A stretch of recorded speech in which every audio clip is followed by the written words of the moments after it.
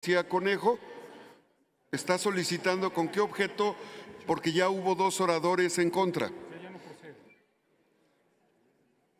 Eh, señor presidente, primero felicitarlo por su encargo, desearle mucho éxito. No tengo duda que va a ser un papel extraordinario como presidente de la mesa.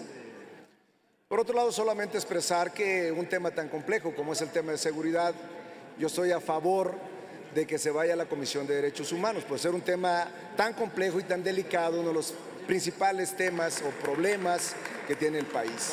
Es solamente para eso. Gracias, presidente.